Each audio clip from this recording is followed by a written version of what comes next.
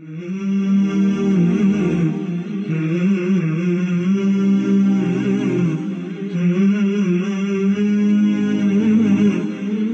what is the ultimate possible happiness state in this life?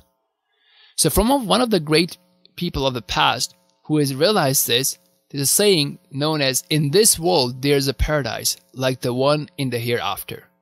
Whoever enters it has entered the real paradise, but whoever does not enter it has not entered the paradise in the hereafter. Or whoever does not enter it will not enter the paradise of the hereafter.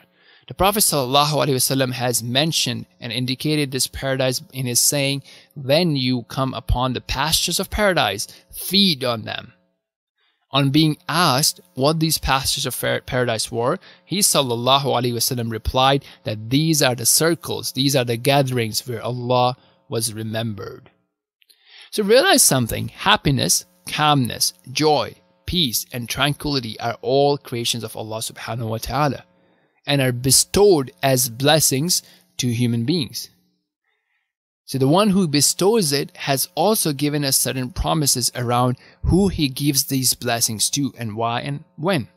So one of the verses that he has in his kitab, in his book Quran, says, من عمل صالحا من ذكر أو أنثى وهو مؤمن فلنحيينه حياة طيبة ولنجزينهم أجرهم بأحسن ما كانوا يعملون Whoever does righteousness, whether he be a male or a female, while he is a believer, we will surely cause him to live a good life. And we will surely give them their reward in the hereafter according to the best of what they used to do. So look, Allah has given us this notion of a good life.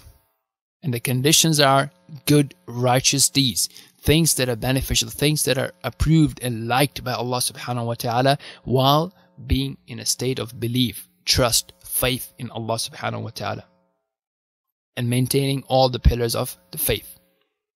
Likewise, he says in another verse, من أعرض عن ذكري فإن له معيشة ضنكا ونحشره يوم القيامة أعمى And whoever turns away from my remembrance, indeed, he will have a depressed life, and we will gather him on the day of resurrection as a blind person.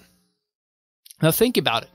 So, the more we are heedless about Allah, about who he is, how he runs the world, how things are under his control, how everything that happens has a wisdom behind it.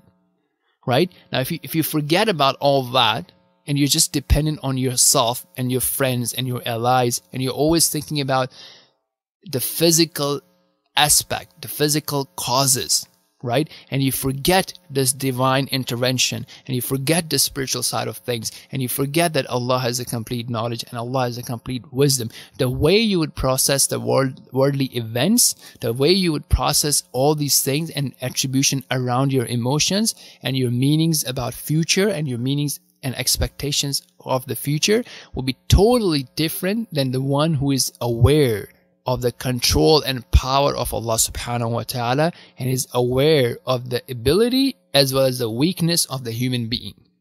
That person will not compromise his relation with Allah subhanahu wa ta'ala to achieve some worldly gain.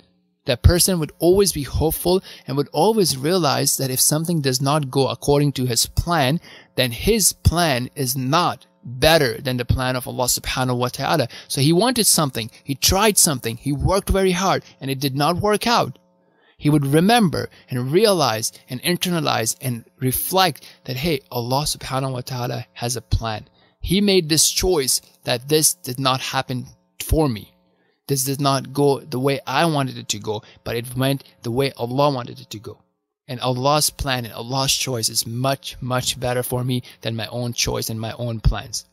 So these things, this state of awareness and this state of experiencing the paradise of this world comes by first purely singling out Allah for worship. We love Allah the most. Nothing, no one is most more beloved to us than Allah subhanahu wa ta'ala. And we do not contaminate our heart with the traits of polytheism. This will be explained more in the future episodes. Next is to discipline our desires to not fall into sins and staying away from heedlessness. Right? In a state of ghafla, heedlessness, not being aware of Allah subhanahu wa ta'ala and not being aware that Allah is watching our actions and our words. Now, one of the severe consequences of this is that one starts thinking and believing and focusing on things that are untrue. He starts seeing the falsehood as the truth and vice versa right? This is the turning of the heart. His heart is filled with doubts and desires, and it just becomes upside down. That's a very extreme punishment to be in. So we ask Allah for a refuge from this state, and we ask Allah to continuously guide us. So next time when we are praying, we are asking Allah for guidance, especially in Surah Al-Fatiha, to remember that if Allah were not to keep us on guidance and were not to increase us in guidance, we could fall back. We could turn upside down. Our hearts could turn upside down. So we discussed those steps. Now it's time for you to really understand that and give it a shot and let us know how it works for you. If you know somebody else who is going through emotional stress, try it out with them. Explain it to them, help them ask these questions to themselves, and help them channel their emotional energy into positive direction. Next, we wish to acquire many different things in this world.